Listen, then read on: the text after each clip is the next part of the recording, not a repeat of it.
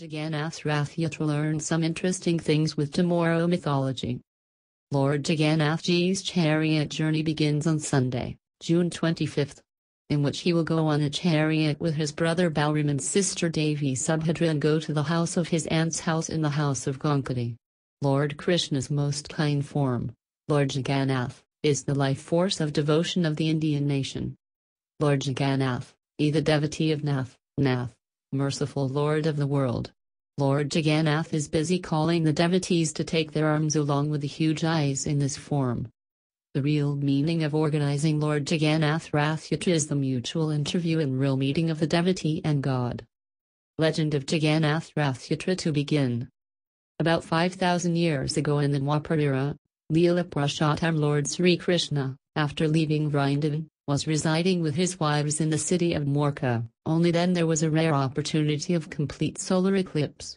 On this occasion, all the Yadavans decided to atone for their sins by gathering on holy shrine named Samanpanchak in Kurukshetra and bathing there, fasting, donating them.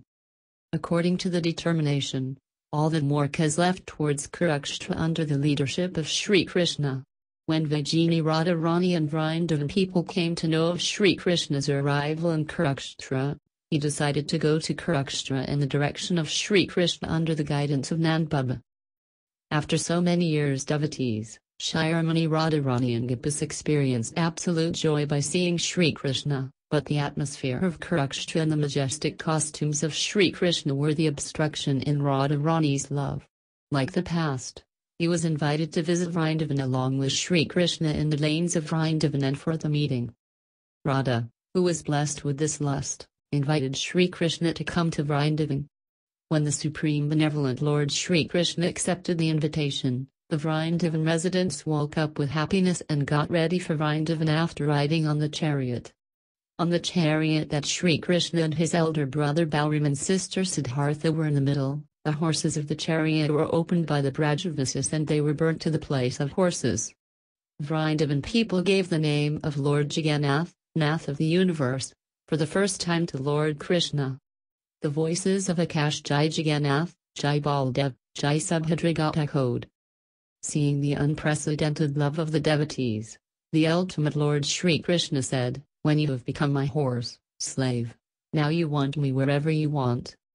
In this way all the Brahmins took the Lord Krishna's chariot by themselves and took them to Vrindavandam, after cheering the triumph of three brothers and sisters. All this Leela became known as Jagannath Rathayatra.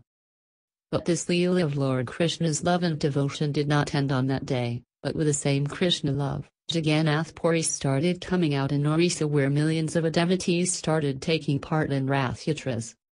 In the 20th century, the great saint and founder of ISKCON, Akriya Sri Prabhupada initiated the effort to keep the devotees with Lord Rath Yatra in the 20th century. In the same episode, he organized Jagannath Rath Yatra on July 9, 1967 in the U.S. on the San Francisco land.